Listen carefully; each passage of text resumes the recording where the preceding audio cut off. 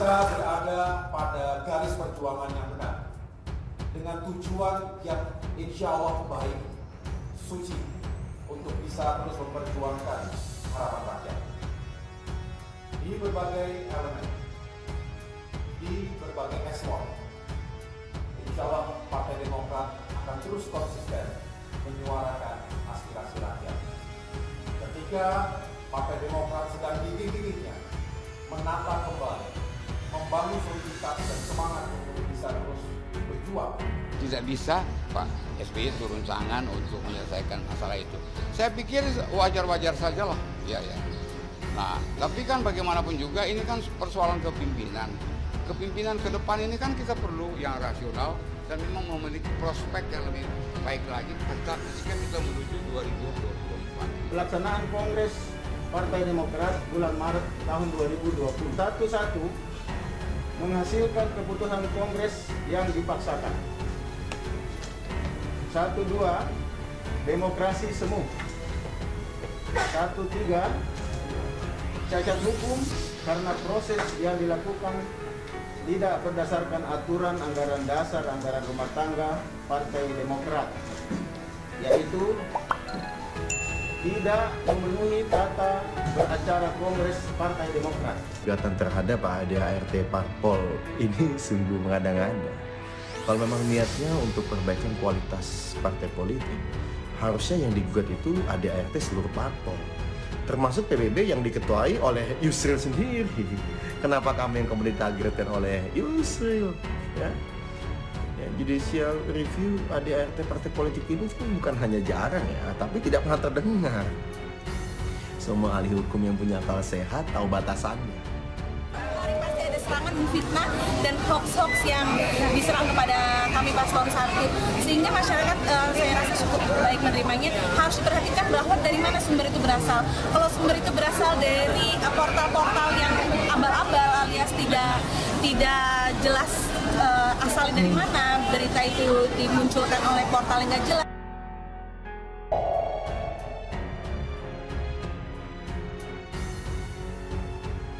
AHY serukan harga kearifan lokal, netizen ikat pinggang pakai Louis Vuitton, khusus untuk dia kearifan lokal tidak berlaku. Sebuah poster berisi seruan menghargai kearifan lokal yang diklaim berasal dari Ketua Umum Partai Demokrat AHY Agus Harimurti Yudhoyono beredar di media sosial. Poster terkait AHY serukan hargai kearifan lokal itu diunggah netizen pengguna Twitter Lux underscore boy 77 seperti dilihat pada Rabu 6 Oktober 2021. Dalam isi poster itu terlihat foto AHY mengenakan kemeja biru dan kopiah hitam. Sementara di bagian kanan poster tersebut tertulis narasi yang menyebut bahwa seorang pemimpin milenial harus bisa memahami potensi sektor ekonomi kreatif dan menghargai kearifan lokal. Berikut isi narasi poster itu. Pemimpin milenial harus pahami potensi sektor ekonomi kreatif dan menghargai kearifan lokal. Nah, terkait isi poster itu, netizen Lux underscore boy 77 pun menilai narasi yang tertera itu tak sesuai dengan penampilan AHY dalam poster tersebut. Menurutnya, AHY dalam poster itu memakai ikat pinggang dari produk luar negeri, yakni Louis Vuitton. Kata netizen tersebut, kearifan lokal berat. Emang ikat pinggang Louis Vuitton itu made in Tasik? Sontak, unggahan poster soal AHY tersebut menuai respon dari sejumlah warganet. Beberapa di antaranya melontarkan sindiran terkait ikat pinggang yang dikenakan putra SBY dalam poster itu. Kata Ed Vickers, maksudnya apa tuh dilingkarin merah? Maksudnya apa tuh dilingkarin merah? Di bawah Gasper Louis Vuitton adalah kearifan lokalnya AHY? Maksudnya gitu ya? Sementara itu netizen lainnya, It's Meme Friend, menyebut kearifan lokal tidak berlaku bagi AHY. Khusus untuk dia, kearifan lokal tidak berlaku. Memang apa yang AHY sampaikan tidak salah dan sah-sah saja, namun pemandangan hedonisme yang dipertontonkan itu bertentangan dengan apa yang ia pakai. Seharusnya ia memakai pakaian dari UMKM lokal, bisa jadi juga selaras dengan apa yang ia sampaikan. Kita berada pada garis perjuangan yang benar dengan tujuan yang insya Allah baik, suci untuk bisa terus memperjuangkan harapan rakyat di berbagai elemen, di berbagai ekspor.